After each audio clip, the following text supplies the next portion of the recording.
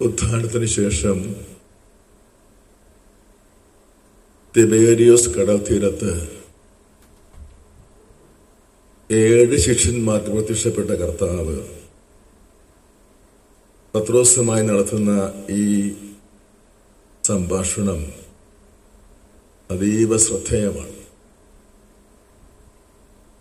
പത്രോസിനെ പൂർണനാമം ഉപയോഗിച്ചു യോഹന്നാന്റെ പുത്രനായ ഷെമയോനെ ഔദ്യോഗികമായ ഭാഷയിലാണ് വിളിക്കുന്നത്. ചോദിച്ച ചോദ്യം ഒന്ന് തന്നെയാണ്. നീ എന്നെ സ്നേഹിക്കുന്നു. മൂന്നാം തവണ ചോദിച്ചപ്പോൾ പത്രോസിന്റെ പ്രതികരണം ഒന്ന് ശ്രദ്ധിച്ചു നോക്കുക എന്താണ് പറയുന്നത്? തന്നോട് മൂന്നാം പ്രാവശ്യവും നീ എന്നെ സ്നേഹിക്കുന്നുവോ എന്ന് അവൻ ചോദിച്ചതുകൊണ്ട് പത്രോസ് ദുഃഖിതനായി. ഈ വചനം നമ്മെ തീർച്ചയായും പുറകോട്ട് കൊണ്ടുപോകും. എവിടേക്കാണ്? മഹാപുരോഹിതന്റെ അരമനയിൽ. യേശുവിനെ കുരിശു തൂക്കാൻ വേണ്ടിയുള്ള ആലോചന നടക്കുമ്പോൾ ഒരു വേലക്കാരി ഒന്ന് പത്രോസം ചോദിക്കും നീയും അവന്റെ കൂടെ ഉണ്ടായിരുന്നതല്ലേ? പത്രോസ് പറഞ്ഞു ഞാനവനെ അറിയില്ല.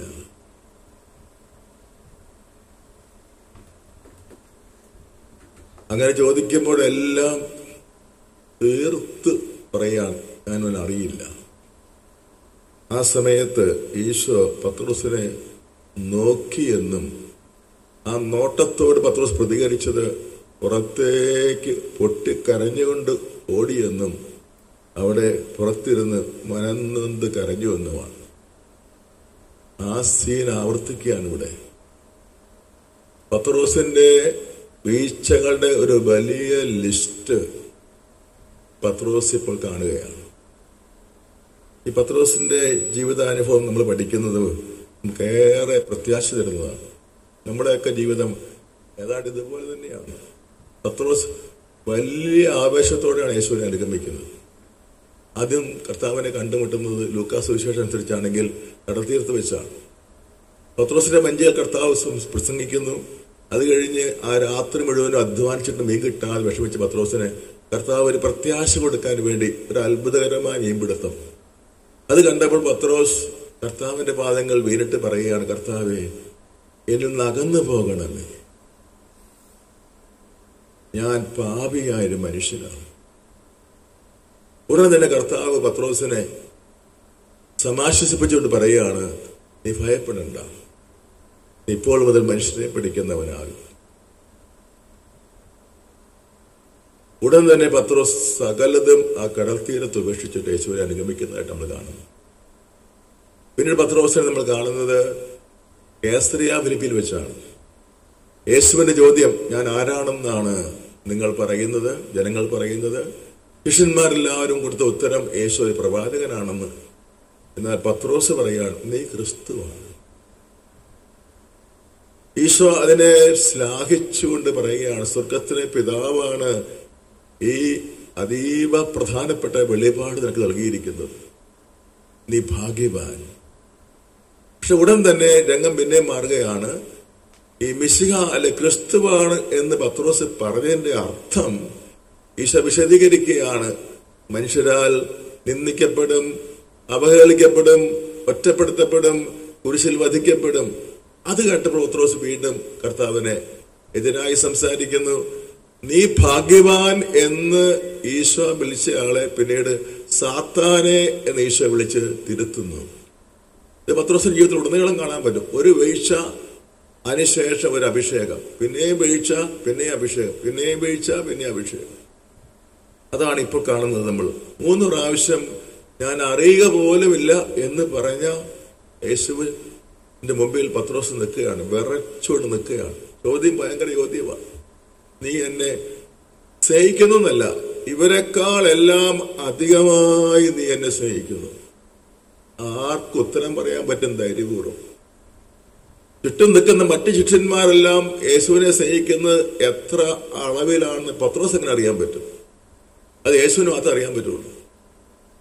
എന്നിട്ട് യേശു ചോദിക്കുകയാണ് ഇവരെക്കാളെല്ലാം അധികമായി നീ എന്നെ സ്നേഹിക്കുക അതിന്റെ ഉത്തരം ഇത്രയേ ഉള്ളൂ. അതിന്റെ അർത്ഥം ഇത്രയേ ഉള്ളൂ.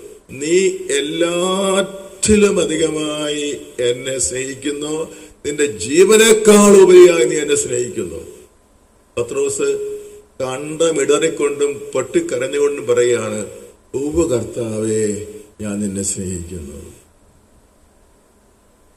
ചിലപ്പോൾ നമ്മൾക്ക് ഒരു അനുഭവത്തിനും കടന്നു പോകും. ചില തെറ്റുകളും കുറ്റങ്ങളും നമ്മളെ വിട്ടുപോകുന്നില്ല. എത്ര ശ്രമിച്ചിട്ട് ചില പാവസ്വഭാവങ്ങൾ നമ്മൾ വീഴ്ച കരകയറാൻ പറ്റുന്നില്ല. ഇങ്ങനെയുള്ളവരുടെ കർത്താവിന്റെ മനോഭാവം ഇവിടെ വ്യക്തമാണ്. പത്രോസ് നിരനിരയായി വീഴുന്നുണ്ട്. വീഴ്ചകൾക്ക് പിന്നാലെ വീഴ്ചകൾ വരികയാണ്. അവസാനം കർത്താവ് പത്രോസിന്റെ മുഖത്ത് നോക്കി പറയുന്നുണ്ട് താത്താൻ നിങ്ങളെ ഗോതമ്പ് പോലെ പാറ്റിക്കൊഴിക്കാൻ ഉദ്യമിക്കുന്നുണ്ട്. അതിന് അനുവാദം ചോദിച്ചിട്ടുണ്ട്. അനുവാദം കൊടുത്തു ഈശോ. പത്രോസിനെ പരീക്ഷിക്കാൻ പിശാചിന് കർത്താവ് അധികാരം കൊടുത്തു അനുവാദം കൊടുത്തു. അങ്ങനെ ഈശോ പറയുന്നത് താത്താൻ നിങ്ങളെ കോതമ്പ് പോലെ പാറ്റാൻ ഉദ്യമിക്കുന്നുണ്ട്. അനുവാദം ചോദിച്ചിട്ടുണ്ട്. പിശാജിന്റെ ആ കടുത്ത പരീക്ഷയ്ക്ക് പത്രോസ് വിധേയനാകേണ്ടി വന്നു. കരയോർത്തി ഹലേ തോമസ് ബ്രദർ ഉറങ്ങിപ്പോയെന്ന് തോന്നുന്നു അല്ലേ കുടിഞ്ഞിരിക്കരുത് ആരും. പ്രൈസ് ലോർഡ് കരയോർത്തി ഹല്ലേ ലുയ ഹല്ലേ ലുയ യേശുവേ നന്ദി. സുവിശേഷം കേൾക്കുമ്പോൾ മുഖത്ത് നോക്കിയിരിക്കണം പറയുന്നവന്റെ. പ്രൈസ് തലോട്ട് കുടിഞ്ഞിരുന്ന ഉറങ്ങിയെന്ന് ഞാൻ കണക്ക് കൂട്ടും. പ്രൈസ് തലോട്ട് കരയോർത്തി ഹല്ലേ ലുയ ഹല്ലേ ലുയ ഹല്ലേ ലുയ ഹല്ലേ ലുയ ഹല്ലേ ലുയ ഹല്ലേ ലുയ പത്രോസിൽ ഈശോ എന്നും വിശ്വാസം അർപ്പിച്ചിരുന്നു. അവസാനത്തെ വാണിംഗ് ഇതാണ് താത്താൻ നിങ്ങളെ എന്നാ പറയുന്നത്? അതിന്റെ തലവൻ പത്രോസായോട് വാസ്തുത നിന്നെ എന്നാ പറയേണ്ടിയിരുന്നത്? നിന്നെ എന്ന് എടുത്ത് പറയുന്നില്ലെന്നേ ഉള്ളൂ നിങ്ങളെ എല്ലാവരെയും ഉൾപ്പെടുത്തി പറയുന്നെങ്കിലും നമുക്കറിയാം അത് വീഴ്ച വന്ന പത്രോസിനാണ് പ്രധാനമായിട്ട്. എന്നിട്ട് പറയുന്നുണ്ട് നീ നിനക്ക് വേണ്ടി ഞാൻ പ്രാർത്ഥിച്ചിട്ടുണ്ട്. അപ്പൊ ആ വാക്യത്തിൽ നിന്ന് സാത്താൻ കോതമ്പ് പോലെ പാറ്റാൻ ശ്രമിച്ചത് പ്രധാനമായിട്ടും പത്രോസിന് തന്നെയായിരുന്നു. സാത്താൻ നിങ്ങളെ ഗോതമ്പ് പോലെ പാറ്റി പാറ്റിക്കൊഴിക്കാൻ ഉദ്യമിക്കുന്നുണ്ട് എന്നിട്ട് പറയാണ് നിനക്ക് വേണ്ടി ഞാൻ പ്രാർത്ഥിച്ചിട്ടുണ്ട്. എന്റെ അർത്ഥം എന്നതായിരിക്കും ഈ പരീക്ഷ ഏറ്റവും ശക്തമായി അനുഭവപ്പെടാൻ പോകുന്നത് നേതാവായി നീ തന്നെയായിരിക്കും.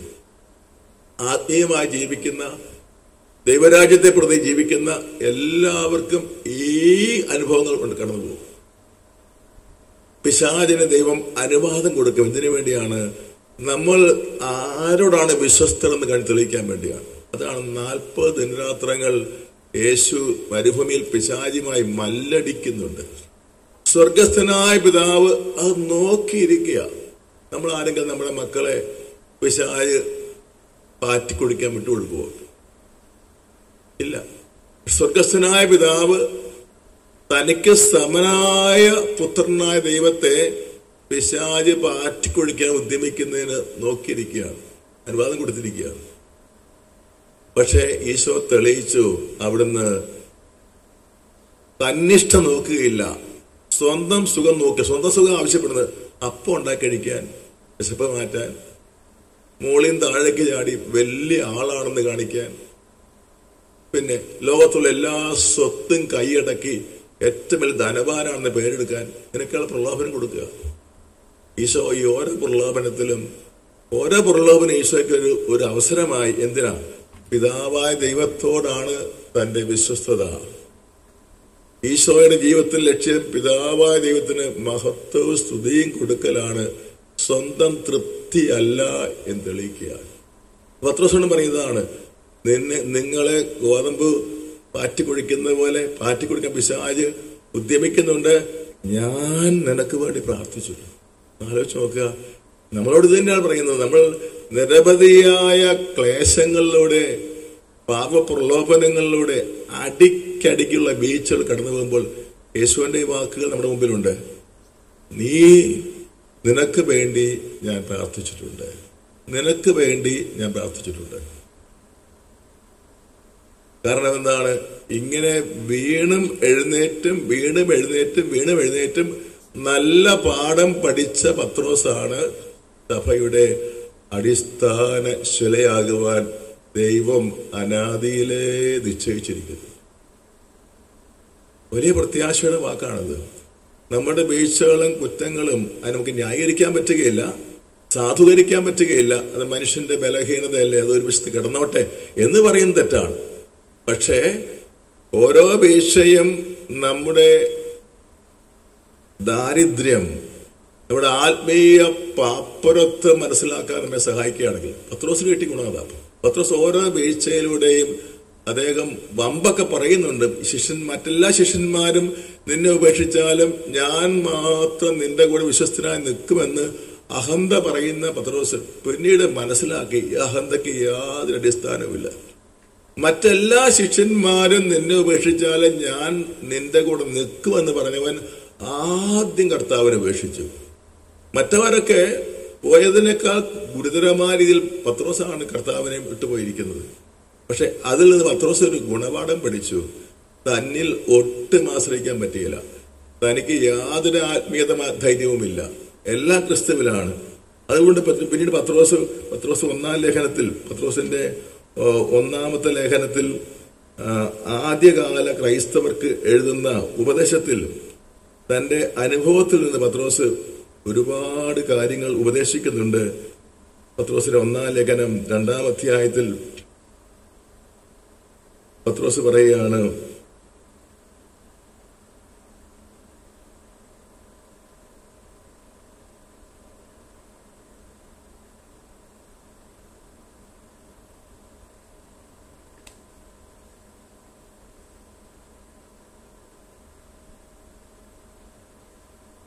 അനുഗ്രഹം അവകാശമാക്കുന്നതിന് വേണ്ടി വിളിക്കപ്പെട്ടിരിക്കുന്നവരാണല്ലോ നിങ്ങൾ. ഇപ്പോൾ പത്രോസി ലേഖനം എഴുതുന്ന കാലത്ത് സഭയിൽ അതിഭയാനകമായ മതപീഡനം വിശ്വാസികളെല്ലാം വധിക്കുന്ന ഒരു സാഹചര്യമാണ്. പത്രോസ് കടന്നുപോയ ഈ അവർണനീയമായ വേദന യേശുവിനെ തള്ളിപ്പറഞ്ഞു എന്ന ദുഃഖം. മറ്റൊരു ശിഷ്യനും ഉണ്ടാകാത്ത ദുർഗതിയാണ്. മറ്റുള്ളവരൊക്കെ തെന്നി മാറി ഒളിച്ചു പോയതേ ഉള്ളൂ. പത്രോസ് ബഹുജന സമക്ഷം മഹാപുരോഹിതന് മുമ്പിൽ വെച്ച് യേശുവിനെ തള്ളി പറഞ്ഞു എന്നുള്ളത് പത്രോസ് ജീവിതകാലം മുഴുവനും കരഞ്ഞ് കരഞ്ഞ് തീർത്ത ഒരു പാവക്കടമാണ് പാരമ്പര്യം പറയുന്നത് പത്രോസ് ഒരിക്കലും പിന്നീട് കരയാത്ത നിമിഷങ്ങളില്ല. ഇരുപത്തിനാല് മണിക്കൂറും കരഞ്ഞ് കരഞ്ഞ് കരഞ്ഞ് പത്രോസിന്റെ കവിൾത്തടങ്ങളിൽ കണ്ണീർ ചാലുകൾ പ്രകടമായി കാണാമായിരുന്നാണ് പറയുന്നത് യേശുവിനോട് അവിശ്വസ്ത കാണിച്ചതിനെ പറ്റിയുള്ള പത്രോസിന്റെ ദുഃഖത്തിന്റെ ആധിക്യമാണ് പത്രോസിനെ വലിയവനാക്കി മാറ്റുന്നത്. പിന്നീട് നമ്മൾ വായിക്കുന്നത് എന്താണ്? സഭയുടെ പിന്നെ ചരിത്രത്തിൽ മുഴുവനും പത്രോസാണ് നേതൃത്വം കൊടുക്കുന്നത്. യേശുക്രിസ്തു അപ്പസ്തലമഴയിൽ എങ്ങനെയായിരുന്നോ അതേ പൊസിഷനിലേക്ക് പത്രോസ് വരുന്നുണ്ട്. യേശു ഉണ്ടെന്ന് കേട്ട സ്ഥലങ്ങളിലേക്ക് ആളുകൾ കരമാർഗ ഓടി ദേശത്തുള്ള രോഗികളെല്ലാം വഴി കൊണ്ടുവന്ന് കടത്തുമായിരുന്നു. കർത്താവിനൊന്ന് സ്പർശിച്ചാൽ സുഖം പ്രാപിക്കുമെന്ന പ്രതീക്ഷയിൽ. ഇവിടെ ഇപ്പൊ ഇതാ പത്രോസ് നടന്നു പോകുന്ന വഴികളുടെ ഇരുവശങ്ങളിലും കിടപ്പ് രോഗികളെ കൊണ്ടുവന്ന് കിടത്തിയിട്ട് അവർ പറയുന്നത് എന്താ? പത്രോസിന്റെ നിഴലെങ്കിലും വീണാൽ മതി. പത്രോസിന്റെ ദേഹത്ത് തുടരുന്ന യേശുവിന്റെ വസ്ത്രത്തെ തൊടാനാണ് ശ്രമിക്കുന്നത്. യേശുവിനെ തൊടാൻ ശ്രമിക്കുമ്പോൾ പത്രോസിനെ തൊടാൻ ആഗ്രഹിക്കുന്നില്ല. അത്രയും വേണ്ട. അവന്റെ നിഴല ചെന്ന് വീണാൽ പോലും രോഗികൾ സൗഖ്യം പ്രാപിക്കാൻ തുടങ്ങി. പത്രോസിന്റെ വീഴ്ചയും പരാജയവും ആത്യന്തികമായി നമുക്കെല്ലാവർക്കും വലിയ പ്രതീക്ഷയുടെയും പ്രത്യാശയുടെയും സന്ദേശം തരികയാണ്. മൂന്ന് പ്രാവശ്യം തള്ളി പറഞ്ഞവൻ അവസാനം അതേപ്പറ്റി രാപകല്ലാതെ കരഞ്ഞ് കരഞ്ഞ് കരഞ്ഞ് കരഞ്ഞ് കരഞ്ഞ് അവസാനം ക്രിസ്തുവിന് വേണ്ടി കുരിശേൽ മരിക്കാൻ തന്നെയും ധൈര്യം കാണിക്കുകയാണ്. ആദ്യത്തെ ആദ്യ നൂറ്റാണ്ടിലെ സഭയിൽ പത്രോസ് ആണ് എല്ലാ പ്രശ്നവും പരിഹരിച്ചുകൊണ്ടിരുന്നത്. ബന്ധുക്കുസ നാളിൽ സ്ത്രീഹന്മാരും മറ്റ് ആദ്യ ആദ്യ ശിഷ്യരും അസാധാരണമായ പരിശുദ്ധാത്മാവിന്റെ അഭിഷേകം പ്രകടിപ്പിച്ചപ്പോൾ ജനം ദുർവ്യാഖ്യാനം ചെയ്തു. ഇവരെല്ലാം ലക്കില്ലാതെ മദ്യപിച്ച് ലക്കുകൾ ലക്കില്ലാത്ത കാട്ടായം കാണിക്കാൻ വ്യാഖ്യാനിച്ചപ്പോൾ ആർക്കും ഉത്തരം പറയാനൊന്നുമില്ല. ശിഷ്യന്മാരെല്ലാം പകച്ചു നിൽക്കുക. ഉടനെ പത്രോസ് എഴുന്നേറ്റിട്ട് ജോയൽ പ്രവചനം ഉദ്ധരിച്ചുകൊണ്ട് പറയാണ് നിങ്ങൾ വിചാരിക്കുന്ന പോലെ ഇവർ പൂസായതല്ല. ജോയൽ പ്രവാചകൻ പറഞ്ഞിട്ടില്ലേ അവസാന നാളുകളിൽ എന്റെ ആത്മാവിനെ എല്ലാവരുടെയും മേൽ ഞാൻ ഭക്ഷിക്കും. ആ വാഗ്ദാനത്തിന്റെ നിറവേറലാണ് ഇവിടെ സംഭവിച്ചിരിക്കുന്നത്. ജന്മനാ മുടന്തനെ പത്രോസ് യേശുവിന്റെ ഒരു നാമം ഉച്ചരിച്ചുകൊണ്ട് എഴുന്നേൽപ്പിച്ചപ്പോൾ ജെറുസലേം മുഴുവൻ ഇളകി വശായി. കാരണം വർഷങ്ങളായി ജെറുസലം ദേവാലയത്തിന്റെ മുൻപിൽ തളർന്നു കിടന്നിരുന്ന ജന്മനാ മുടന്തൻ എഴുന്നേറ്റ് ഓടുന്നത് കണ്ട ജനക്കൂട്ടം വിസ്മയിക്കുകയാണ്. പത്രോസിന്റെ പുറകെ നിന്ന് മാറാതെ ആൾക്കാർ വന്നു നിൽക്കുകയാണ്. പല പ്രാവശ്യം പത്രോസിനെയും മറ്റു ശിഷ്യന്മാരെയും ജയിലിൽ തുറുങ്കലിൽ അടച്ചുകൊണ്ട് അധികാരികൾ പറഞ്ഞു മേലാൽ ഈ നാമത്തിൽ മിണ്ടിപ്പോകരുത്. അപ്പോൾ കർത്താവ് എന്താ ചെയ്യുന്നത്? പത്രോസ് കിടന്നുറങ്ങുന്ന ജയിൽ ജയിൽ തുറന്നു കൊടുക്കുകയാണ്. സ്വർഗത്തിൽ ദൂതനെ അയച്ചിട്ട് പത്രോസിനെ ചങ്ങലക്കിട്ട് പൂട്ടിയ ജയിലിന്റെ വാതിൽ ദൈവത്തിന് തുറന്നു കൊടുക്കുന്നു. പത്രോസിനെ ദൈവദൂതൻ കൈക്ക് പിടിച്ച് ദേവാലയത്തെ കൂട്ടി നിർത്തുന്നു. അവിടെ വെച്ച് ദൈവത്തിന്റെ രാജ്യം പ്രസംഗിക്കുന്നത് വിജാതീയരെ ഉൾക്കൊള്ളണം സഭ എന്ന് കാണിക്കാൻ പത്രോസിനെ കൊർണേലിസിന്റെ വീട്ടിലേക്ക് പറഞ്ഞു പറഞ്ഞയക്കുന്നു. ചുരുക്കി പറഞ്ഞാൽ ഇന്ന് മാർപ്പാപ്പയെ മാർപ്പാപ്പ ഇന്ന മാർപ്പാപ്പയെന്നില്ല ഏത് മാർപ്പാപ്പയെയും ലോകം കാണുന്നത് എങ്ങനെയാണ് ദൈവത്തിന്റെ സ്വരമായിട്ടാണ്. ലോകത്തെ ഏറ്റവും ചെറിയ രാജ്യമാണ് വത്തിക്കാൻ. നൂറ്റിയെട്ട് ഏക്കർ മാത്രം വിസ്തീർണമുള്ള ലോകത്തിലെ ഏറ്റവും ചെറിയ രാജ്യം. പക്ഷെ ആ ചെറിയ രാജ്യത്തിന്റെ രാജാവാണ് മാപ്പാപ്പ ആ ഏറ്റവും ചെയ്ത രാജ്യത്തിന് രാജാവിനാണ് ലോകത്തെ എല്ലാ മറ്റേത് രാജാക്കന്മാരെക്കാളും ഏത് അധികാരേക്കാളും വോയിസ് ഉള്ളത്.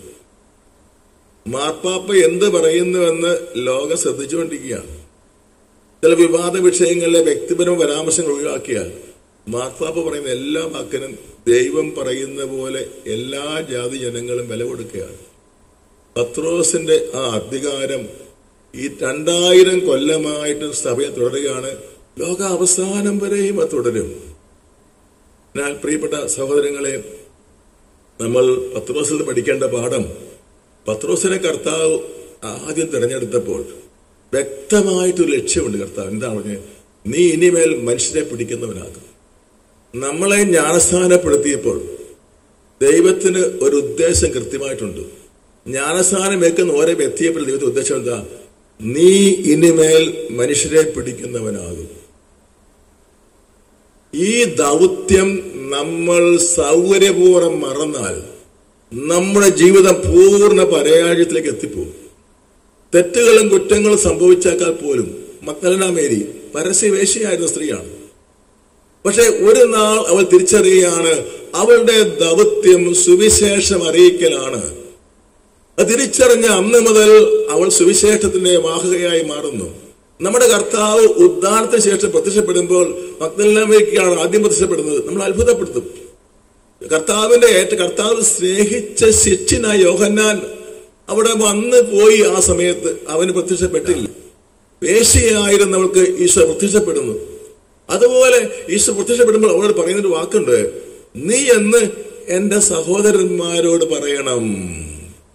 ഞാൻ ജീവിച്ചിരിക്കുന്നു. ആ കൂട്ടത്തിൽ എടുത്തു പറയുന്നുണ്ട് പത്രോസിനോട് പ്രത്യേകം പറയണം. എന്റെ ശിഷ്യന്മാരോട് പറഞ്ഞു പറഞ്ഞ് അവസാനിപ്പിച്ച അവസാനിപ്പിക്കാമായിരുന്നു. പക്ഷേ എന്റെ ശിഷ്യന്മാരോട് പറ ഞാൻ ജീവിച്ചിരിക്കുന്നുവെന്ന് പത്രോസിനോട് പ്രത്യേകം പറയണം. കർത്താവിനെ തള്ളിപ്പറഞ്ഞവനും ക്ഷിപ്രകോപിയും എടുത്തുചാട്ടക്കാരനും എല്ലാം കുളവാക്കുന്നതിനുമായി പത്രോസ് പത്രോസ് സ്വഭാവം കർത്താവ് മാറ്റുന്നില്ല. പത്രോസിനെ തള്ളി പറയുന്നുമില്ല. പത്രോസിനെ കർത്താവ് എപ്പോഴും സഹിക്കുകയാണ്. ടോളറേറ്റ് ചെയ്യാണ്. പത്രോസിന് എല്ലാ വീഴ്ചകളുടെ നടുവിൽ കർത്താവ് ഒരു പടി കൂടി ഉയർത്തി ഉയർത്തി ഉയർത്തി ഉയർത്തി കൊണ്ടുവരികയാണ്. ലോകത്തിൽ ഒരാളും പ്രതീക്ഷിച്ചില്ല ഈ അപ്പൊസലന്മാരുടെ തലവൻ പത്രോസാകുമെന്ന്. സഭയുടെ അടിത്തറ പത്രോസാകുമെന്ന് സ്വപ്നം കാണാൻ പറ്റാത്ത കാര്യം. കാരണം പത്രോസിന് വീഴ്ചകൾ മാത്രമേ ഉള്ളൂ. വീഴ്ചകളുടെ പിറകെ വീഴ്ചകളുടെ പിറകെ വീഴ്ചകളുടെ പിറകെ അവസാനവും വീഴ്ചകൾ തന്നെ. അങ്ങനെയുള്ള ഒരാളെ ദൈവമായ കർത്താവ് തന്റെ രക്ഷാകര പദ്ധതിയിലെ ഒരു മുഖ്യ കണ്ണിയാക്കുകയാണ്. ദൈവത്തിന്റെ കാരണം സഭയെ വിളിക്കുന്ന പേരെന്താ? സഭയെ വിളിക്കുന്ന പേര് ദ സാക്രമെന്റ് ഓഫ് സാൽവേഷൻ രക്ഷയുടെ കൂതാശയാണ് സഭ. ലോക അവസാനം വരെയും ലോകത്തിലെല്ലാവരും രക്ഷയ്ക്ക് വേണ്ടിയുള്ള അടയാളം സഭയാണ്. ആ സഭയുടെ അടിസ്ഥാനമാക്കി പത്രോസിനെ കർത്താവ് നിയോഗിച്ചു എന്ന് പറയുന്നത് സ്വർഗത്തിന്റെ വലിയ പദ്ധതിയാണ്. യേശുവിനെ നീ ക്രിസ്തുവാണ് എന്ന് ആദ്യം പറഞ്ഞപ്പോൾ കർത്താവിന്റെ ഒരു വാക്കുണ്ട് സ്വർഗരാജ്യത്തിന്റെ താക്കോലുകൾ നിനക്ക് ഞാൻ തരും. പിന്നീട് പത്രോസിന് വരുന്ന അടിക്കടിക്കുള്ള വീഴ്ചകളെല്ലാം മുൻകൂട്ടി കണ്ടിട്ടും പറയുകയാണ് സ്വർഗരാജ്യത്തിൽ താക്കോൽ നിനക്ക് ഞാൻ തരും. ഈ ഭൂമിയിൽ കെട്ടുന്നതെല്ലാം സ്വർഗത്തിൽ കെട്ടപ്പെട്ടിരിക്കും. ഇതിന്റെ അർത്ഥം എന്താണ് പ്രിയപ്പെട്ടവരെ? ദൈവം ഒരാളെ ഒരിക്കൽ തെരഞ്ഞെടുത്തു കഴിഞ്ഞാൽ ആ തെരഞ്ഞെടുപ്പിൽ ദൈവം ഒരിക്കലും പിന്നോട്ട് പോകുകയില്ല ദൈവത്തിന്റെ വെളിയിൽ ദൈവം പിന്മാറുകയില്ല. അവിശ്വസ്തത പറയാം അവിശ്വസ്ത കാണിച്ചാലും ദൈവം വിശ്വസ്തനായി നിലകൊള്ളും. ഇത് നമ്മളെ കൂടുതൽ സങ്കടപ്പെടുത്തണം. കാരണം പത്രോസിനെ സങ്കടം വന്നതുകൊണ്ടാണ് പത്രോസ് കർത്താവിനെ തള്ളി പറയുകയും കർത്താവിന്റെ വെളിയിൽ നിന്ന് മാറിപ്പോവുകയും ചെയ്തിട്ടും പത്രോസിനെ കർത്താവ് സ്നേഹിച്ചുകൊണ്ട് വീണ്ടും വീണ്ടും നീ എന്നെ സ്നേഹിക്കുന്നു. ആ ചോദ്യത്തിന് അർത്ഥം എന്താ? ഞാൻ നിന്നെ സ്നേഹിക്കുന്നു നീ എന്നെ സ്നേഹിക്കുന്നുണ്ടെന്ന് അതിന്റെ അർത്ഥം. അങ്ങനെ യോഹന്നാൻ ലേഖനത്തിൽ യോഹന്നാൻ പറയുന്നുണ്ട് ഒന്ന് യോഹന്നാൻ നാല് പത്തൊൻപത് ആദ്യം അവൻ നമ്മെ സ്നേഹിച്ചു അതിനാൽ നാം അവനെ സ്നേഹിക്കുന്നു. ദൈവം നമ്മെ സ്നേഹിക്കാത്തിടത്തോളം കാലം നമുക്ക് ദൈവത്തെ സേവിക്കാൻ സാധ്യമല്ല. അപ്പൊ ഈശോ ചോദിക്കുകയാണ് നീ ഇവരെക്കാളല്ല അധികമായി എന്നെ സ്നേഹിക്കുന്ന ചോദ്യത്തിൽ ഒരു വേറൊരു ഉത്തരം കിടപ്പുണ്ട്. ഈശോ ഇങ്ങനെ പറയുക ഇവരെക്കാളെല്ലാം അധികമായി ഞാൻ നിന്നെ സ്നേഹിക്കുന്നു. ഇവരെക്കാളെല്ലാം അധികമായി വീഴ്ച പറ്റിയ തെറ്റ് പറ്റിയ കുറ്റം നേർപ്പിയ എന്നെ തള്ളിപ്പറ്റിയ പത്രോസെ ഇവരെക്കാളെല്ലാം അധികമായി ഞാൻ നിന്നെ സ്നേഹിക്കുന്നു. ഈ ബൈബിളിൽ യോഹന്നാസ്ലിയായി വിശേഷിപ്പിക്കുന്നത് യേശു സ്നേഹിച്ച ശിഷ്യനാണ് അതിന് ആകപ്പാട് തെളിവ് പറയാനുള്ളത് യേശുവിന്റെ ഭക്ഷണത്തിൽ ചാരിക്കിടന്നു എന്നുള്ളത് വേറെ ഒന്നും നമുക്ക് കാണാനില്ല. എന്ന പത്രോസ് അല്ലേ വാസ്തവത്തിൽ യേശു സ്നേഹിച്ച ശിഷ്യൻ? അത് പറയാതെ പറഞ്ഞിരിക്കുക. പത്രോസിനെ യേശു സ്നേഹിച്ച ശിഷ്യൻ എന്ന് ബൈബിളിൽ എഴുതിയിട്ടില്ലെന്ന് മാത്രമേ ഉള്ളൂ. സത്യത്തെ അതല്ലേ യാഥാർത്ഥ്യം? അല്ലെ പിന്നെ യോഹന്നാനെ അല്ലേ സഭയുടെ തലവനാക്കേണ്ടിയിരുന്നത്? യോഹന്നാനല്ലേ ആ അധികാര താക്കോൽ കൈമാറേണ്ടിയിരുന്നത്? അല്ല. പത്രോസിനാ കൊടുത്തിരിക്കുന്നതല്ല. അതുകൊണ്ടാണ് സുപ്രീമസി ഓഫ് പൊന്റിഫ് ലോകത്തിൽ ഒരുപാട് ക്രൈസ്തവ സഭകൾ ഉണ്ടെങ്കിലും അനേക വിശുദ്ധരായ പിതാക്കന്മാർ സഭ ഓരോ സഭയിലുണ്ടെങ്കിലും പത്രോസിന്റെ മുൻഗാമി എന്ന് ഔദ്യോഗികമായി അംഗീകരിക്കപ്പെടുന്നത് റോമാമാർപ്പാപ്പ തന്നെയാണ്. അപ്രത്യേകമായ പ്രത്യേകമായ ഒരു കൃപ കർത്താവ് കൊടുത്തിരിക്കുകയാണ്. പത്രോസിന് കർത്താവ് കൊടുത്തിരിക്കുന്ന ഈ ശുശ്രൂഷ നമുക്കും ഒരു പ്രതീക്ഷ തരികയാണ്. നമ്മൾ നേരത്തെ സൂചിപ്പിച്ചതുപോലെ നമ്മളെയും ജ്ഞാനസ്നാനം വഴി ദൈവം രക്ഷയുടെ അടയാളമാക്കി മാറ്റിയിരിക്കുകയാണ്. സഭ രക്ഷയുടെ ഗോദാശ എന്നാണ് വിളിക്കപ്പെടുന്നത്. സഭ രക്ഷയുടെ ഗോദാശയാണ്. ആരാണ് സഭ എന്ന് പറയുന്നത്? റോമായിലെ അരമനയും പീറ്റേഴ്സ് ബസിലിക്കായും മാർപ്പാപ്പയുമാണോ? അല്ല. സഭ എന്ന് പറയുന്നത് ജ്ഞാനസ്നാനമേറ്റ് റോമ മാർപ്പാപ്പയുടെ കീഴിൽ ഒരേ വിശ്വാസം ഏറ്റുപറയുന്ന ദൈവജനമാണ് സഭ. അപ്പോൾ ആരാ സഭ? നമ്മൾ ഓരോരുത്തരും സഭയാണ്. സഭ രക്ഷയുടെ കൂതാശ. എന്നർത്ഥം നീ ഞാൻ രക്ഷയുടെ കൂതാശ. കൂതാശ അർത്ഥം അടയാളം അടയാളം. ഞാനും നിങ്ങളും രക്ഷയുടെ അടയാളമാകണം ലോകത്തിലെ മനുഷ്യർക്ക്. രണ്ടാമത്തേക്ക് സുവർണദോസിന്റെ സഭ ആധുനിക യുഗത്തിൽ നിന്ന് പ്രമാണികൾ പറയുകയാണ് അൽമായൻ ദേവാലയത്തിൽ വന്ന് ക്രിസ്തുവിന്റെ ശിഷ്യനാകേണ്ടത് എങ്ങനെയെന്ന് പഠിക്കണം? ഓരോ അൽമായനും ദേവാലയത്തിൽ വെച്ച് ക്രിസ്തുവിന്റെ ശിഷ്യനാകേണ്ടത് എങ്ങനെയെന്ന് പഠിക്കണം? പഠിക്കാൻ വേണ്ടിയല്ല പഠിച്ചിട്ട് അവൻ പുറത്തു പോയി അവൻ ജോലി ചെയ്യുന്ന ഫാക്ടറിയിലോ ജോലി ചെയ്യുന്ന കൃഷിയിടങ്ങളിലോ ഓഫീസുകളിലോ യേശു ക്രിസ്തുവിനെ പ്രഘോഷിക്കണം അപ്പൊ യേശുവിന് സാക്ഷ്യം വഹിക്കണം. അൽമായന്റെ പരമപ്രധാനമായ ദൗത്യം തുറന്ന ലോകത്തിൽ തന്റെ ജീവിതം കൊണ്ട് യേശുവിനെ പ്രഘോഷിക്കണം അപ്പൊ രക്ഷയുടെ അടയാളം എന്ന് പറയുന്നത് സഭയാണ് രക്ഷയുടെ എന്ന് പറഞ്ഞപ്പോൾ അത് നമ്മൾ ഇങ്ങനെ പറയണം. ഞാൻ ആണ് രക്ഷയുടെ അടയാളം. രക്ഷയില്ല എന്ന് കരുതുന്ന ലോകത്തിന്റെ മുമ്പിൽ ഞാൻ വിളിച്ചോതുകയാണ് എന്റെ ജീവിതം കൊണ്ട്. രക്ഷയുണ്ട്. രക്ഷയുണ്ട് യേശു ക്രിസ്തു രക്ഷയുണ്ട്. ലോകം തന്നെ ഇപ്പോൾ ഒരു യുദ്ധത്തിന്റെ വക്കിലെത്തിയിരിക്കുന്ന സമയമാണ്. ഇവിടെ എല്ലാം എല്ലാവരും ദുഃഖത്തിലേക്കും നിരാശയിലേക്കും ഭയത്തിലേക്കും പോകുമ്പോൾ ഒരു കാര്യം സത്യമാണ്. കർത്താവ് യേശു ക്രിസ്തുവിന് മാത്രം ഇത് പറയാൻ ധൈര്യമുള്ളൂ. ഭയപ്പെടേണ്ട. ഭയപ്പെടേണ്ട. ഭയപ്പെടേണ്ട. ഞാൻ ലോകത്തെ ജയിച്ചിരിക്കുന്നു. യേശുവിന്റെ സന്നദ്ധിയിൽ നമുക്കും ചേർന്ന് നിൽക്കാം. ഒരു മനോഹരമായ ഒരു ചിത്രമുണ്ട്. നിങ്ങൾ കണ്ടിട്ടുണ്ടാകും. ഈശോയുടെ പുസ്തകത്തിൽ ആ ചിത്രം കൊടുത്തിട്ടുണ്ട്. ഉയർത്തെഴുന്നേറ്റ കർത്താവ് ജയ ജയ ജയശ്രീ ജയാളിയായിട്ട് ഇങ്ങനെ മുഖത്തോട് നിൽക്കുമ്പോൾ ശിഷ്യന്മാരെല്ലാം അത് കർത്താവിനെ മുട്ടി മുട്ടി മുത്തി നിൽക്കുന്നു. പത്രോസ് കർത്താവിന്റെ മുട്ടുകൊത്തി നിന്നുകൊണ്ട് കർത്താവിന്റെ ദേഹത്തിങ്ങനെ മുഖവും താടിയും തലയെല്ലാം ചേർത്തിങ്ങനെ അണച്ചു നിൽക്കുന്നു. അത് കാണുമ്പോൾ പെട്ടെന്ന് വരുന്ന ദൃശ്യം അന്ത്യത്താഴത്തിൽ യേശുവിന്റെ വക്ഷത്തിൽ യോഹന്നാൻ ചായതിന് തുല്യമായി ഇവിടെ ഉദ്യതനായ കർത്താവിന്റെ അടുത്ത് പത്രോസ് തന്റെ തല ചായച്ചു വെച്ച് നിൽക്കുന്ന ഒരു രംഗമുണ്ട്. അതീവ ഹൃദ്യമായ ഒരു ചിത്രമാണിത്. ഈശോമിശയുടെ പുസ്തകത്തിൽ ആ ചിത്രം കൊടുത്തിട്ടുണ്ട്. ഇതാണ് നമ്മുടെ ജീവിതത്തിന്റെ രഹസ്യം. നമുക്കൊരു ഈ ലോകത്തിലേക്ക് നമുക്ക് വരുന്നതിന് ലക്ഷ്യമുണ്ട്. നമ്മൾ ചിലർ വളരെയേറെ ദുരിതങ്ങളിലൂടെ കടന്നു പോകുന്നവരുണ്ട് ചിലർ ദാരിദ്ര്യത്തിന്റെ അങ്ങേയറ്റത്തെത്തിയവരുണ്ട് രോഗപിടകളാൽ വലയം ചെയ്യുന്നവരുണ്ട്. പ്രതീക്ഷയ്ക്ക് വകയില്ലാതെ മുന്നോട്ട് പോകുന്നവരുണ്ട്. ഓർക്കുക ഈ ലോകത്തിലെ എല്ലാ ദുരനുഭവങ്ങളും ദുരന്തങ്ങളും വെറും താൽക്കാലികം. അതാണ് പത്രോസ്ലിക തന്റെ അനുഭവത്തിൽ എന്ന് പറയുന്നത് അല്പകാലത്തെ സഹനത്തിന് ശേഷം. അല്പകാലത്തെ സഹനത്തിന് ശേഷം ദൈവം നിങ്ങളെ പുനരുദ്ധരിക്കും. എന്നിട്ട് പത്രോസ് പറയാണ് ദൈവത്തിന്റെ ശക്തമായ കരത്തിന്റെ കീഴിൽ താഴ്മയോടെ നിൽക്കുക. തക്ക സമയത്ത് അവിടെ നിന്നെ ഉയർത്തും. ആ വാക്ക് വായിക്കുമ്പോൾ നമുക്ക് അത് തോന്നി എന്താണ് ഉദ്ദേശിക്കുന്നത്? പത്രോസിന്റെ ജീവിതമാണ് അതിന്റെ സാക്ഷ്യം. എങ്ങനെ ഉയർത്തി പത്രോസിനെ? യേശുവിനെ ദൈവം ഉയർത്തി എങ്ങനെയാ? എല്ലാ നാമങ്ങൾക്കുപരിയായ നാമം നൽകി യേശുവിന്റെ നാമം കേൾക്കുമ്പോൾ സ്വർഗത്തിൽ ഭൂമിയിലും പാതാളത്തിലും എല്ലാം മുഴങ്കാൽ മുട്ടുമടക്കും. ഈശോ ദൈവമായ രീതിയിലാണ് ദൈവം എന്ന രീതിയിൽ രീതിയിലാണ് ഉയർത്തൽ.